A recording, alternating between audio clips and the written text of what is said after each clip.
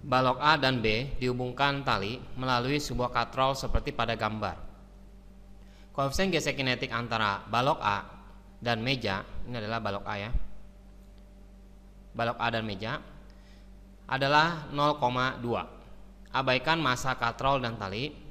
Jika massa A 25 kg dan B 15 kg, hitung besar tegangan tali dan berapa jauh balok B akan jatuh dalam waktu 4 detik setelah sistem dilepas. Maksud ceritanya begini, kalau misalkan dia di sini ada balok B dan di sini ada balok A, akan bergerak ke kanan ya sehingga A ini akan bergeser dengan percepatan tertentu dan B juga akan turun ke bawah dengan percepatan yang sama. Kenapa sama?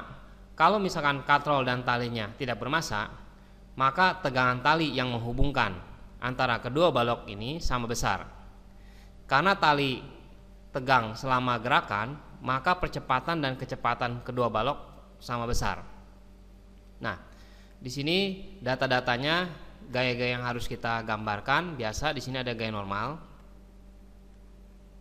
Di sini ada gaya gesek karena dia kasar FK dan ada tegangan tali yang arahnya saling tarik menarik begini ya ini T dan di sini ada gaya berat W.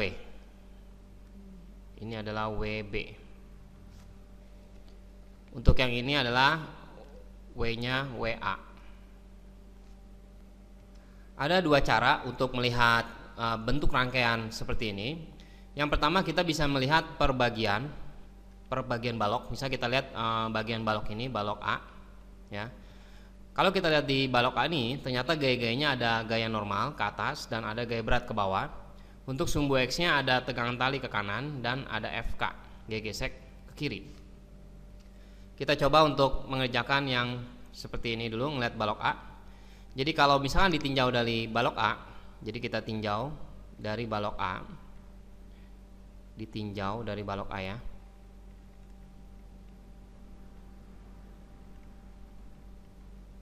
Berarti kita mencari sigma Fy sama dengan 0 N dikurangin WA sama dengan 0 Berarti N nya sama dengan WA Di mana massa nya 25 kilo Berarti 250 Newton.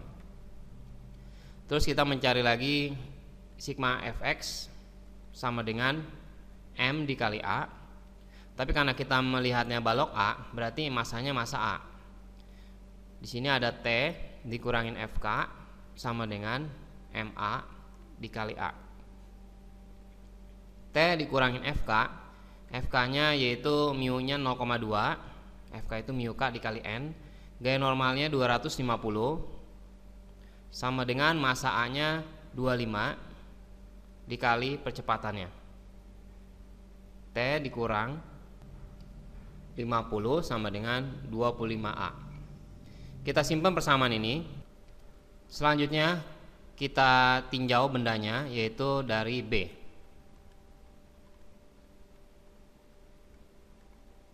Untuk B ternyata gaya-gayanya yang ada adalah hanya seperti ini ya, di mana ada WB dan T.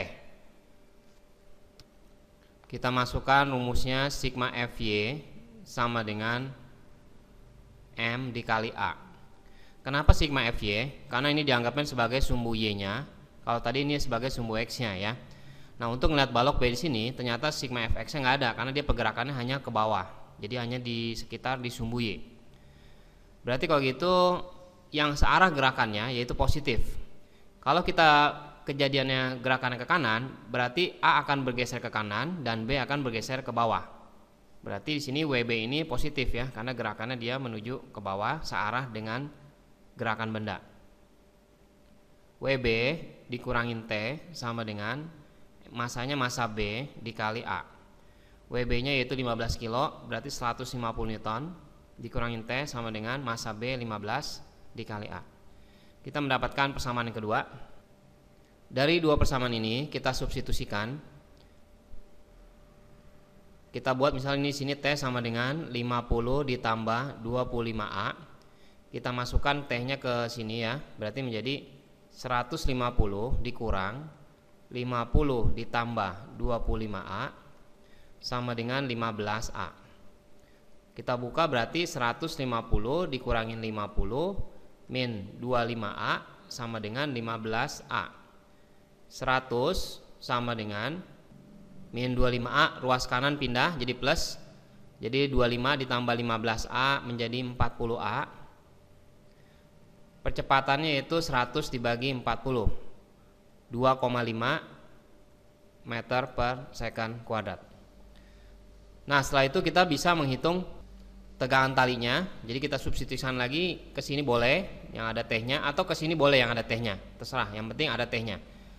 Kalau kita masuk di sini berarti T-nya sama dengan 50 ditambah 25 dikali A-nya adalah 2,5. Hasilnya yaitu 112,5 Newton.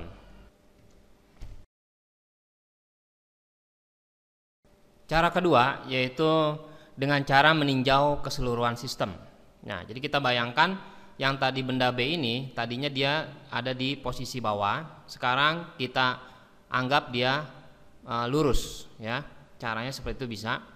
Di sini tadi ada N, di sini W,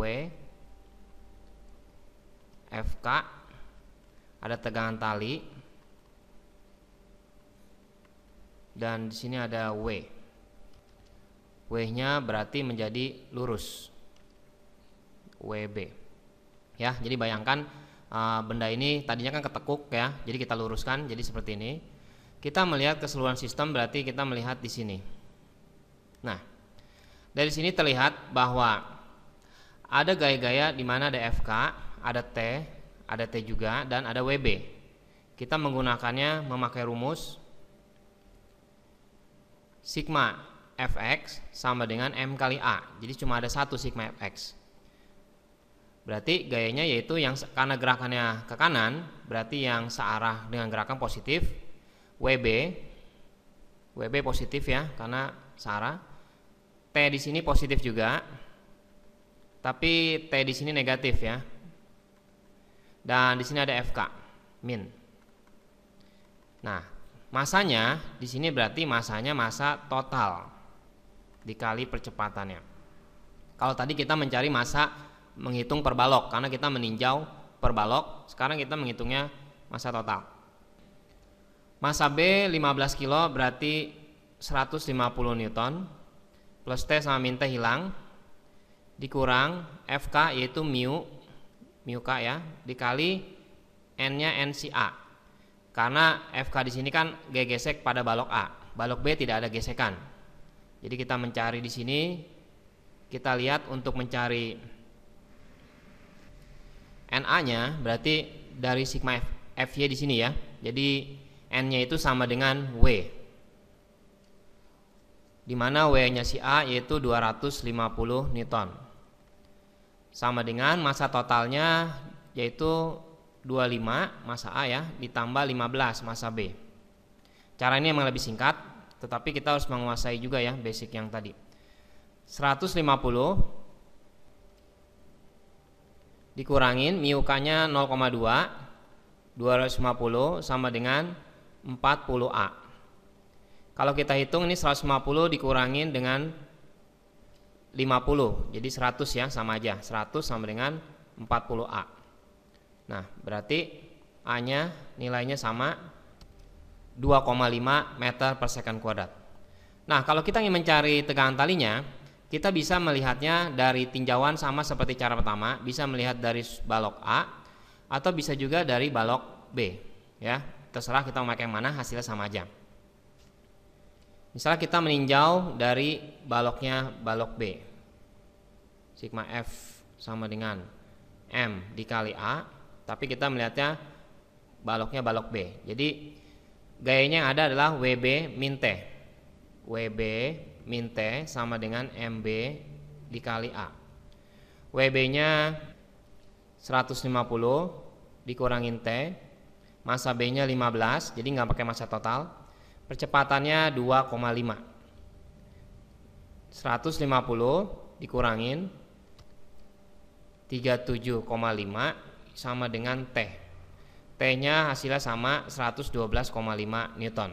Jadi kita hanya berbeda mencari cara percepatannya.